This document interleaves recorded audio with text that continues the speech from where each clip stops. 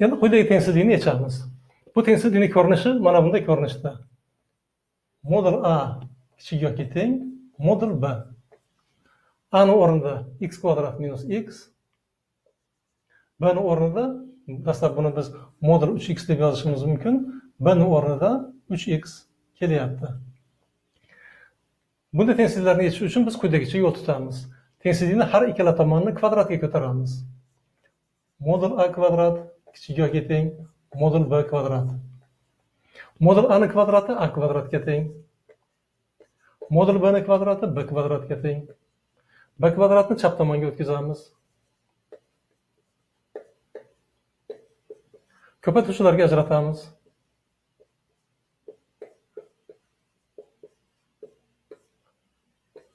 Qisqa ko'paytirish formulasiga ko'ra biz mana bunday ko'paytiruvchilarga ajratamiz.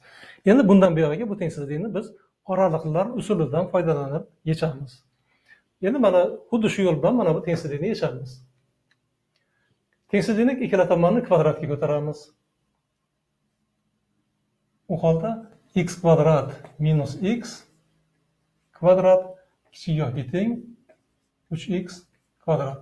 Mana bunday tengsizlik mana bunday tengsizlikni hosil qilamiz. Hop uch x kvadratni chap tomonga o'tkazamiz.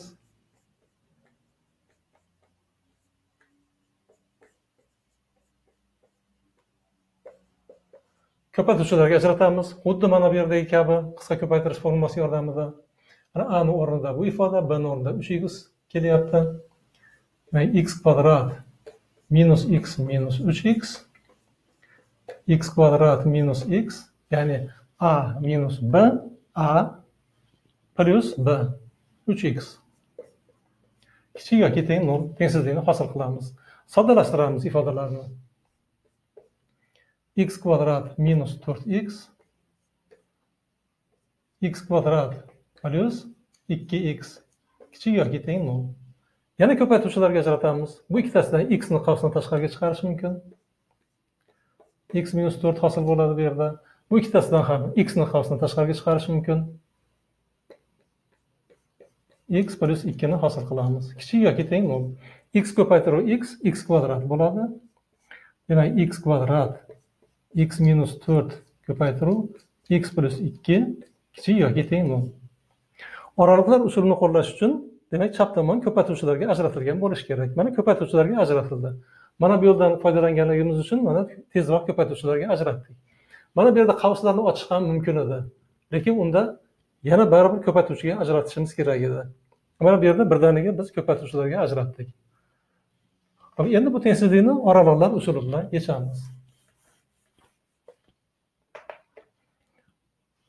x kvadratni nolga tenglasak x teng nol kelib chiqadi.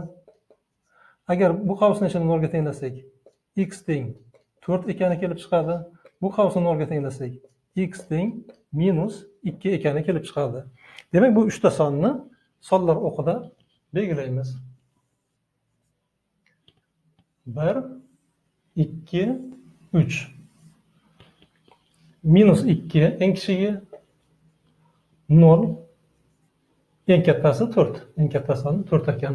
Mana u sonlarni belgiladik tenglik belgisi bor demak bu sonlar yechimga kiradi. Uchalasi ham yechim bo'ladi. Hop endi bu oraliqlarni ishoralarini aniqlaymiz. Hop kelinglar mana bu oraliqdan boshlaylik. Buning uchun bu oraliqdan ixtiyoriy bitta son olamiz. X teng besh masalan. X o'rniga beshni olib kelib qo'yamiz. beshning kvadrati yigirma besh besh minus to'rt musbat. Besh plyus ikki musbat yetti bo'ladi. Muhimi bizga ishorasi bu yerda. Demak musbat ko'paytiruv musbat ko'paytiruv musbat musbat bo'ladi ya'ni plyus bo'ladi. Endi bu oraliqdan birorta son olaylik. Masalan bu oraliqdan x teng bir. Hisoblashga osonroq bo'lishi uchun birning kvadrati musbat bir minus to'rt manfiy bir plyus ikki musbat. Musbat ko'paytiruv manfiy manfiy ko'paytiruv plyus manfiy bo'ladi. Demak bu oraliqda manfiy bo'ladi yana bu oraliqdan birortasini olamiz x teng minus bir. X o'rniga minus bir qo'yamiz minus birni kvadrati musbat minus bir minus to'rt manfiy minus bir plyus ikki musbat demak natija uchalasini ko'paytirsak manfiy chiqadi va nihoyat mana bu oraliqdan birorta son olamiz masalan x teng minus besh minus beshni kvadrati musbat minus besh minus to'rt manfiy minus besh plyus ikki minus uch manfiy minusga minus plyus plyusga ko'paytirsak yana plyus chiqadi demak bu orol ham plyus ekan shunday qilib hop bu yerda kichik yoki teng demak kichik tomonda bo'lishi noldan kichik bu degani minusli oraliqlar ishora minusli oraliqlar yechim bo'ladi degani shunday qilib yechim minus ikkidan nolgacha noldan to'rtgacha nolni o'zi ham yechim bo'lganligi sababli biz javobni qisqacha qilib minus ikkidan to'rtgacha deb yozsak bo'ladi. Shunday qilib berilgan tengsizlikning javobi minus ikkidan to'rtgacha